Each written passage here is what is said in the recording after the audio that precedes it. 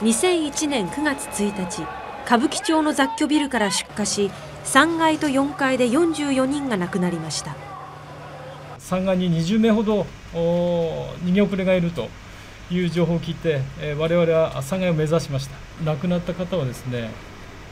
肺炎口の方を目指して手を述べてそのまま固まってた鮮明にまだ脳裏に焼き付いています。この火災ではビルの階段に置かれていたものが燃えて避難ができず被害が拡大しました。階段には、えー、更衣ロッカーとかですねあと段ボールとかこう積み重ねてあって本当にもう人が通るのがもう30センチか40センチぐらいしかあの間が隙間がないという状況の中